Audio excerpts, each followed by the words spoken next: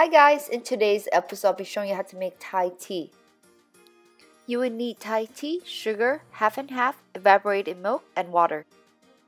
Bring water to a boil and add the Thai tea mix. Allow the Thai tea to boil again for 1 minute.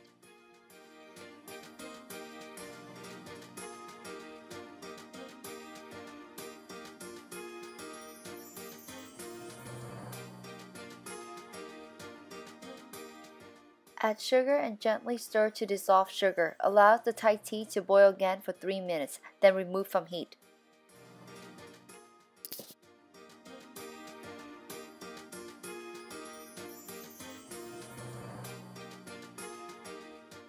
Allow tea to steep for at least 30 minutes and cool. Strain the tea leaves, set Thai tea aside to cool.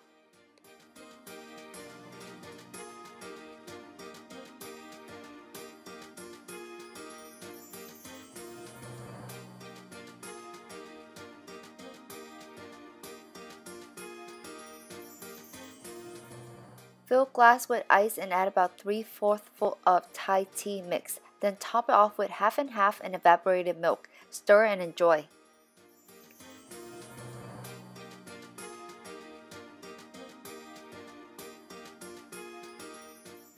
Thank you for watching. For full recipe, visit jessicascraving.com.